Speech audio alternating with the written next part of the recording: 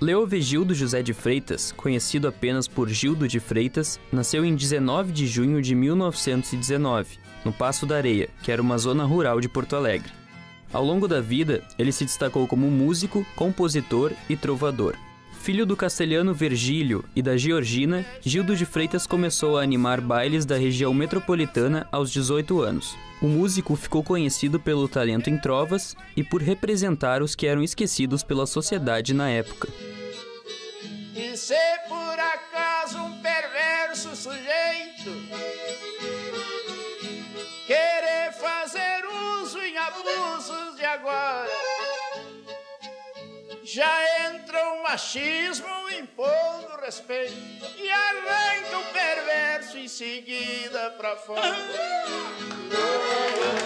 Em 1941, casou-se com Dona Carminha, com quem teve cinco filhos.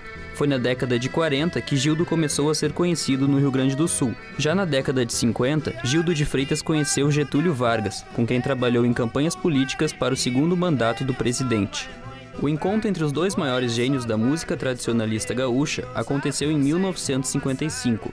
Gildo de Freitas e Teixeirinha realizaram viagens e se consagraram pelo Brasil. Na década de 60, o cantor lançou os primeiros discos e LPs.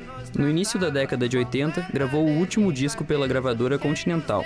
Nessa época, ele teve as últimas aparições públicas, principalmente em programas de TV. Gildo de Freitas morreu em 4 de dezembro de 1982, aos 63 anos.